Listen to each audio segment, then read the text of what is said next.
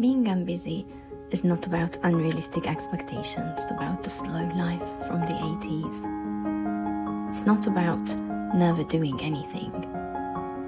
It's not about wasting time or being lazy all day. Unbusy means making time for what matters. Unbusy means prioritizing with intention based on values. It means that I will stop my day and meditate to reconnect with myself and the universe. It means I will go to bed early to honor my body. It means I will choose rest when I need it.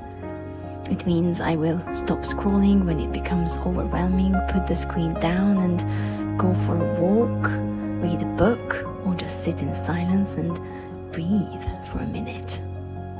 It means I will stop my life and cuddle my child when they and seek for connection.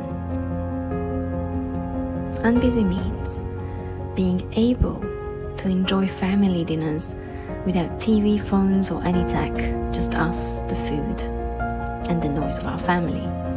Unbusy is a lifestyle choice. It means you say no a lot and yes only when it really matters.